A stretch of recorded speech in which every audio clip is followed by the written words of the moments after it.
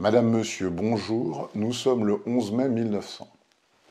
On a inauguré solennellement le charmant pavillon que la Belgique a fait élever rue des Nations. Ce pavillon, ce palais plutôt, reproduit, on le sait, l'hôtel de ville d'Audenarde. Au rez-de-chaussée, une salle est réservée au service de la presse. Elle sert en même temps de cabinet de lecture et de correspondance. Deux autres salles sont affectées à la reproduction des villes et aux autres sites remarquables de la Belgique. Les salles de réception sont situées au premier étage. Des vues panoramiques des plus beaux sites, des monuments remarquables du pays, encadrés dans une décoration adaptée au style de l'édifice, ornent les murs.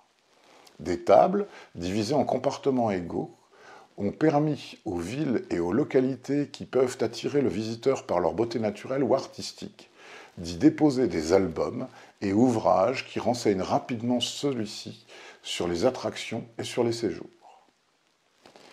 Hier après-midi, à 3h, a été inaugurée la classe 86 à l'exposition des fils, tissus et vêtements.